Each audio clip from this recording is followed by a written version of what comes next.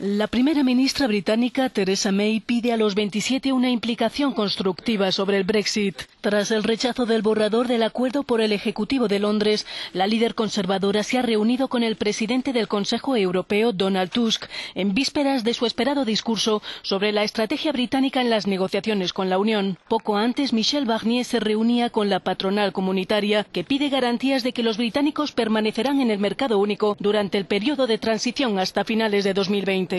La cuestión de fondo es que hay que preservar ese mercado único que los británicos han decidido abandonar, pues ya no quieren respetar las reglas, pero nosotros tenemos que seguir basándonos en él porque de ello depende nuestra unidad, nuestra cohesión y también nuestro desarrollo económico.